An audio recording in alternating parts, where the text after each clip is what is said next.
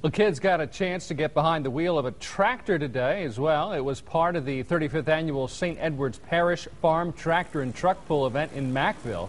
It Includes everything from garden and farm tractors to stock trucks and four-wheelers. Organizers say around 4,000 people came out each day for the event, and today was Family Day, aimed at getting kids and women involved. You don't have this very often where we have a where a seven-year-old can actually drive a little garden tractor and pull, and and yeah, it's, it's something these kids look forward to every year. All the proceeds from the event go to the parish. Organizers say they raise around $70,000 each year.